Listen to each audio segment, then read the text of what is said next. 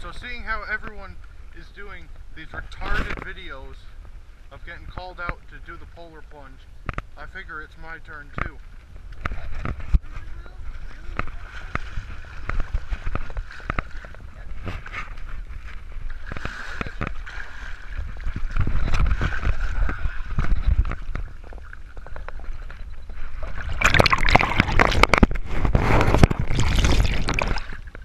Refreshing. Who to call out? Um, Teresa Lester, Olivia Allard, James Schwartz, Christian Rodriguez. You've all been called out.